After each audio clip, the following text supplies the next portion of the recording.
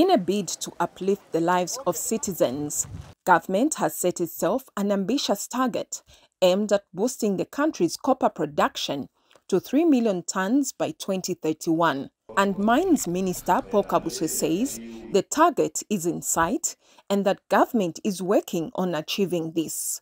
Mr. Kabuswe said this during a high-level panel discussion at the ongoing mining and investment Insaka in Lusaka. I assure the nation that this is not just a dream.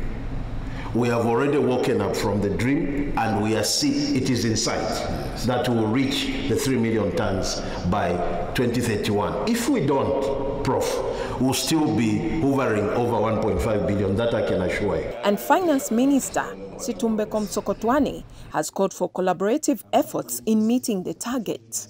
Our team contribution to the effort to get to 3 million tons, as you mentioned, is number one, to make sure that our tax regime is competitive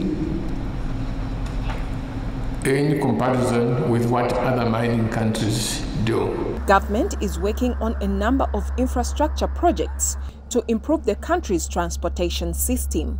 Infrastructure Minister Charles Milupi is confident that the new infrastructure will support the increase in copper production. So there is need for infrastructure, there is need for energy, but beyond that, there is need for trained personnel, experienced personnel. The optimism of reaching the 3 million metric tons by 2031 is high in government, and increased copper production is expected to lead to higher foreign exchange earnings and job creation. Sharon Siame, ZNBC News, Lusaka.